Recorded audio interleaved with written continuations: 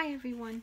Today I'm going to give you five quick tips on surviving the Christmas and holiday shopping season.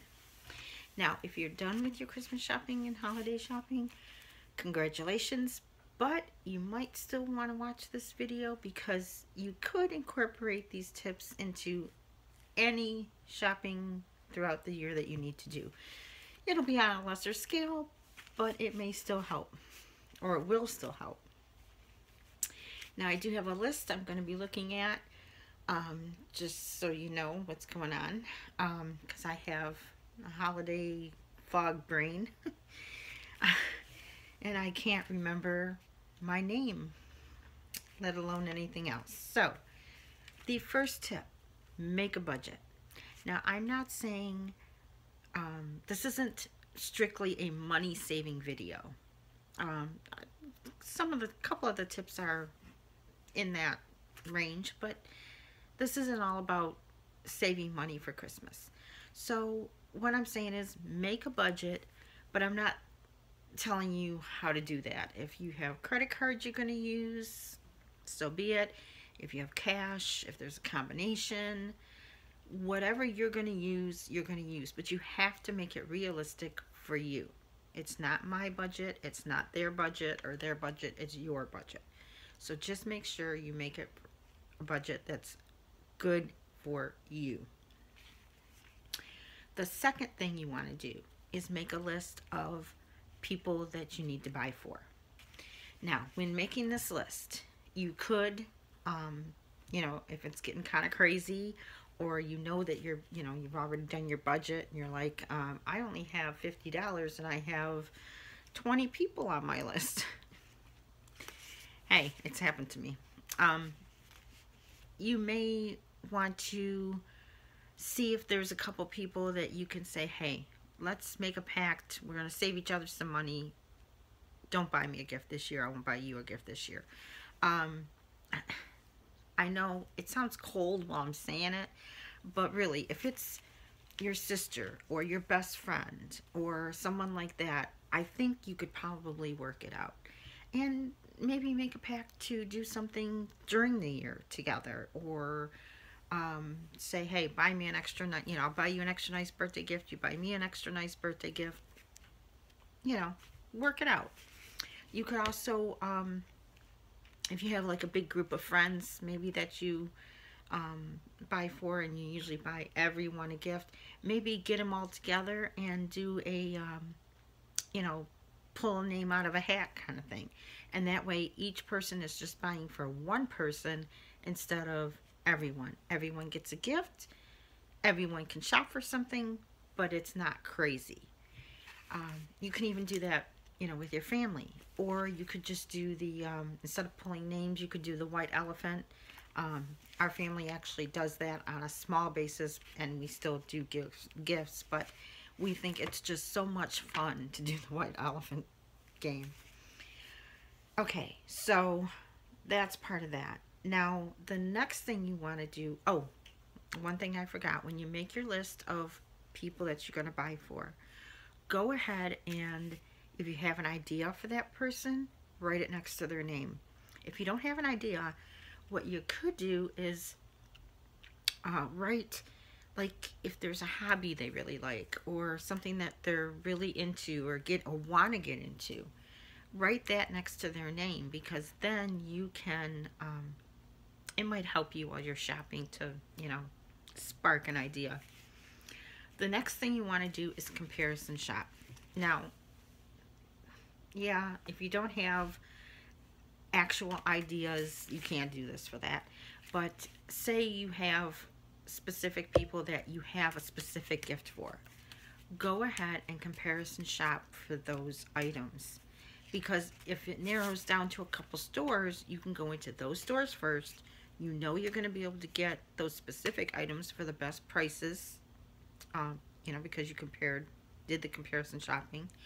And you can um, shop for other people at those stores while you're in there.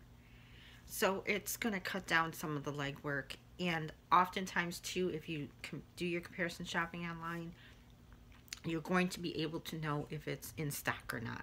And that's a huge thing at this time of year. You don't want to be having to go to six different stores tracking down this one item when you could have just gone online before you left the house, made sure it was in stock. As a matter of fact, there's often, you know, times where you can um, order it online and they'll have it ready in the store. So take advantage of those things now. Even if you don't really do that kind of stuff any other time of year, now is the time to utilize those things because it's going to help you tremendously. Okay, the next thing is number four combine your trips when possible.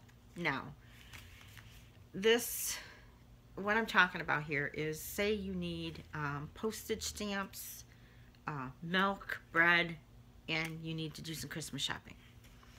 Well, you could go to CVS and get every one of those items. They sell bread, they sell milk, they sell postage stamps, and maybe you can get, um, you know, the cologne you want to get your grandma or the gift set that you want to get someone else.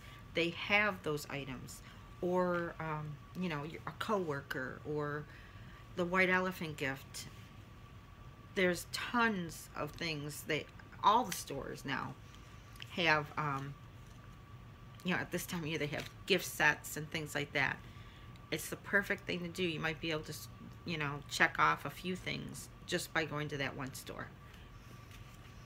Uh, and the last tip I have on the list is to use your rewards and reward cards and loyalty cards. And um, you know, even like I said, if that's some, I know uh, many of us have, you know, a ton of those cards in our purses, wallets, pockets, and sometimes we forget to use them or don't always use them. Now is the time to get them out, look into your accounts and see, uh, you know, how many points you have. Can you earn yourself a gift card? Maybe you can use that as a gift. Or, um,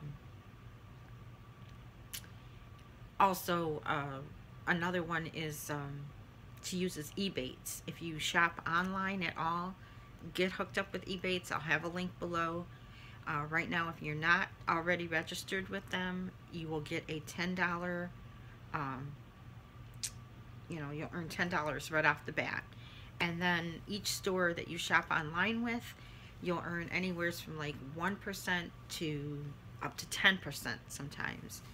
Um, and it's not an instant rebate it's an earnings that you will get you'll accumulate and once you've reached five dollars uh, I think three or four times a year they have where they send you a check as long as your earnings have uh, reached five dollars or more I use it I don't get to shop a lot but I use it and I get that five dollars back once in a while you know for me that's where I'm at but there's people that shop a lot and they get hundreds.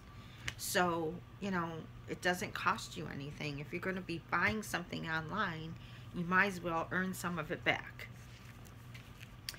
Um, the red card through Target is another one. That's one I use also. It, I don't have the credit card. They do have a red card credit card, but the um, red card I have is hooked up.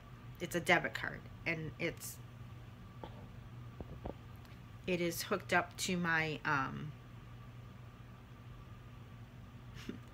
lost my train of thought hooked up to my checking account and with that I make a purchase at Target using my red card it comes right out of my checking account so I just mark it in my checking account like a regular transaction but I get an extra 5% off also at Target whether you have the card or not get the tar the Target Cartwheel app um, and use those apps. Any of those apps that you're, you know, that you like to use. Now, I was using a bunch of them for a while. I did drop a couple of them, but I use Shopkicks regularly, and I use Cartwheel definitely, and um, all the time. Those are my two favorites uh, for saving money or for earning money and Ebates. I use Ebates all the time, although I don't have an app for them. I don't know if there is an Ebates app, to be honest with you. Um, but you can check out the Ebates information or the link below. Uh, and that's what I have for you. I think that if you use these tips that you're going to get through your Christmas shopping. It's going to keep you organized and help you maybe save a few uh, dollars along the way. And who couldn't use to save a few dollars? I know I could. So, I hope you enjoyed the video. If you like it, give it a thumbs up. If you have any um, tips, tried and true tips of your own, leave me a comment below. I'd love to hear about them.